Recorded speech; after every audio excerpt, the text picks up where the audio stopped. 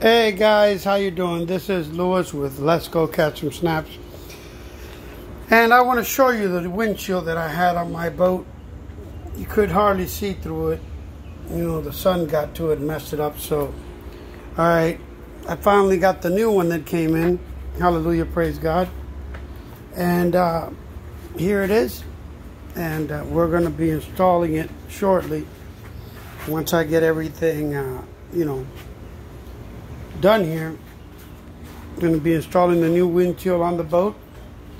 Then we're going to work on the dash and the gauges and you name it. So stay tuned as we continue the work on the Pro line.